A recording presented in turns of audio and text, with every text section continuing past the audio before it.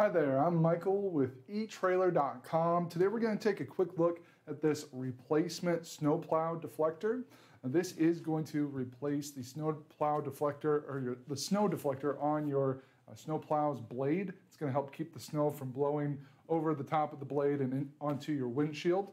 Uh, this is a 120 inch long by 12 inch tall and a half inch thick uh, strong, extra thick belted rubber, uh, so it is going to be very durable and long lasting. Uh, this can be trimmed to fit your application, uh, the length of your blade, uh, to make sure that it's going to not have anything hanging over the edges. But it is made here in the USA, so you can trust it is going to be made to the high quality standards that we've come to know and trust for products that are made here in the US. so if you are needing a replacement, for your uh, deflector, this is going to be uh, a great option for you.